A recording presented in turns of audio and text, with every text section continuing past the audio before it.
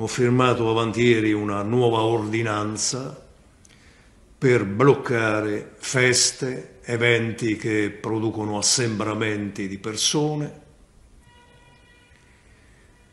L'ordinanza che ho firmato stabilisce che a decorrere dal 23 dicembre fino al 1 gennaio è fatto divieto di consumo di cibo, bevante, alcolici e non alcolici con esclusione dell'acqua nelle aree pubbliche, qual è l'obiettivo? Evitare gli assembramenti davanti ai pub, ai bar di gente che si mette a consumare alcolici davanti ai locali, provocando assembramenti di persone.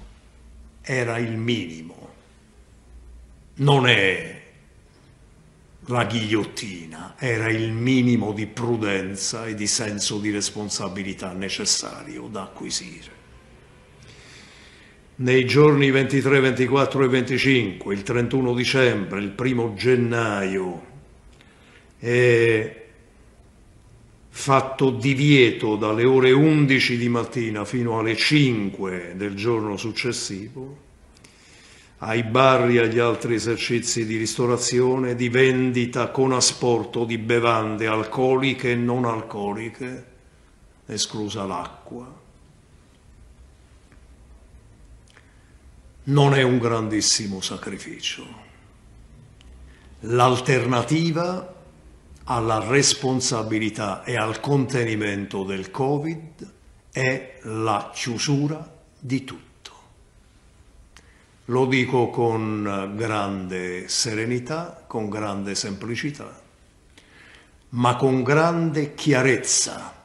Se perdiamo la testa nella settimana dalla vigilia di Natale a Capodanno, noi perdiamo tutto quello che abbiamo fatto in questi mesi.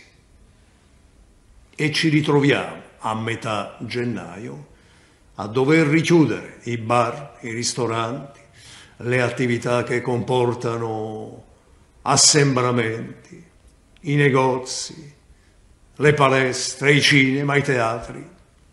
Diventerà inevitabile ci eravamo abita- abituati al fatto che tutto dovesse rimanere aperto.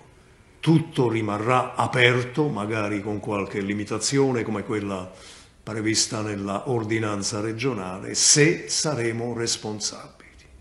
Ovviamente nessuna festa in piazza e meno che mai a Capodanno, perché come sappiamo tutti quanti non è possibile nessuna forma di controllo lo sapete, no? Capodanno contro che controlliamo?